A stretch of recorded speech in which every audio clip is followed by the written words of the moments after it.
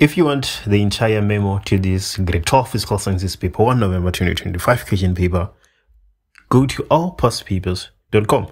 We can watch the video, obviously, and see how you were supposed to answer the questions or how you're supposed to answer the questions depending on which year you're doing.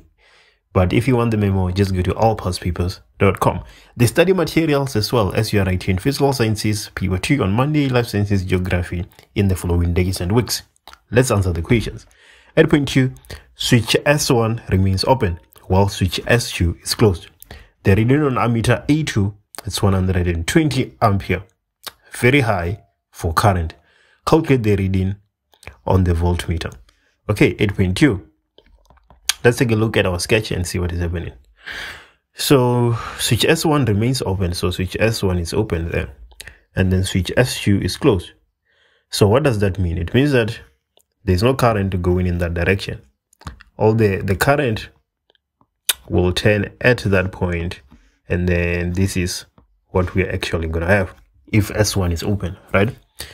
So we're looking for the reading on the voltmeter. The voltmeter is connected across the starter motor, which is the only external component we have, which is the only resistor that we have.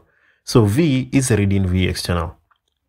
So V will be close to I multiplied by R. The current is 120. The resistance is 0.1. So V is equals to 12 volts, that is 8.2. 8.3.1, switch S1 is now closed and switch S2 is open. So let's adapt to the statement. So S1 is open and S2, or S1 is closed and S2 is open. So it means that the current flows in this direction. Okay, there we go. Uh, but it's going to divide it there because we have L1 and L2, the two headlights. So a proportion of the current flows in that direction as well. There we start having total current, the cycle continues. Okay, 8.3.1, calculate the current passing through L1. So we're given the power dissipated by each headlight. So the power is 15 watt. And then L1, we're given the resistance, which is 12 ohm. So we want the current. Obviously, P is equals to I squared multiplied by R. Very basic stuff. P is 15, current squared, multiplied by R, which is 12. So the current is equals to, so the square root of 15 over 12, which is 1.12 ampere. So that is the reading or the current passing through L1. And then 8.3.2, write down the reading on ammeter A1. So which current is the ammeter A1 reading?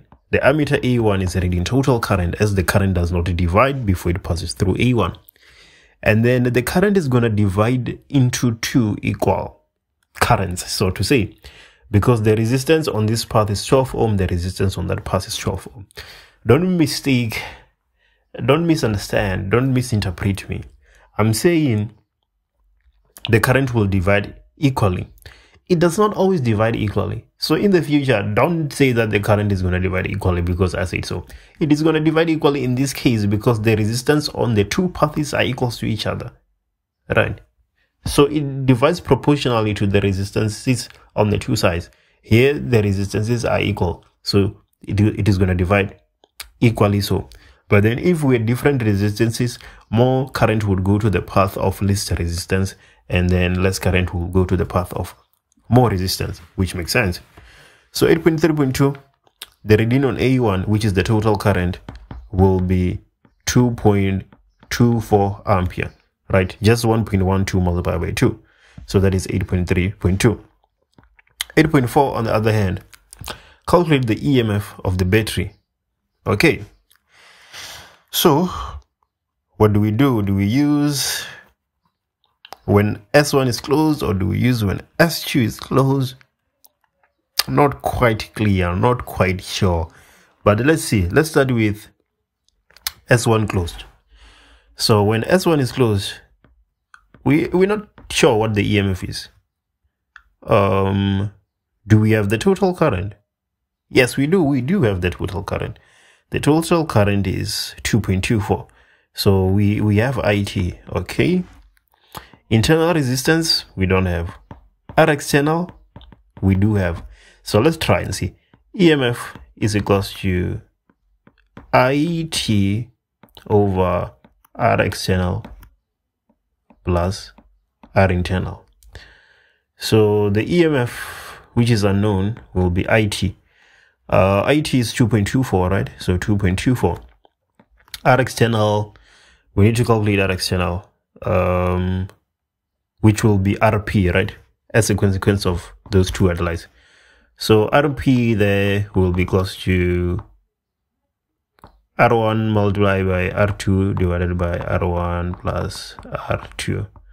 So that is, oh, is the plus on top or is it at the bottom? I don't usually use this equation, so I'm not quite sure. So let me see. If I say, okay, I know that the resistance is supposed to be 6. Let me just stop playing around and use what I usually use. So 1 over Rp is equals to 1 over R1 plus 1 over R2. Let's just stick to the basics. What are we doing? So 1 over Rp is 1 over 12 plus 1 over 12. And then Rp is equals to 6. There we go. So we have 6 plus R. Two unknown variables, one equation. Equation 1. Obviously, we need an equation 2 so that we can solve for the internal resistance and find the EMF therefore. So equation 2, we're going to use uh, that instance where S1 is open and S2 is closed. The EMF in that instance will be equal to the total current in that instance, which was 120, right? R external 0.1 plus R. Uh, so EMF is the same, it does not change. So 2.24 multiplied by 6 plus R should be equals to 120 0.1 plus R. Uh, so we need to solve R. 2.24 multiplied by 6.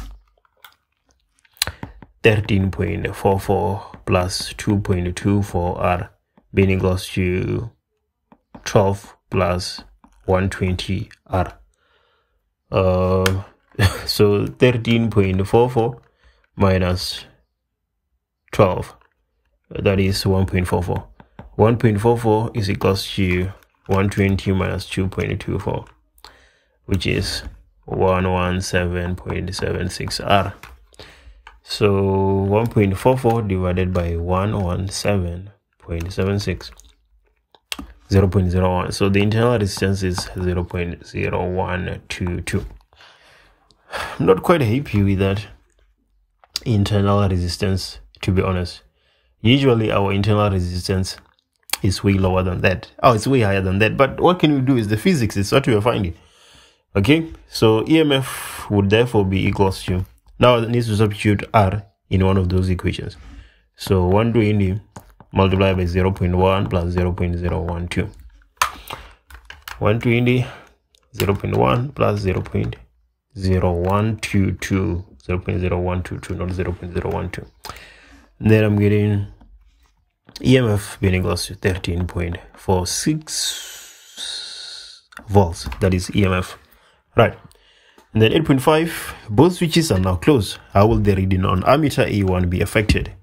Choose from increases, decreases, or remains the same. Explain the answer without the use of a calculation. Let me know in the comments what's your answer? Increases, decreases, or remains the same? Why are you saying so?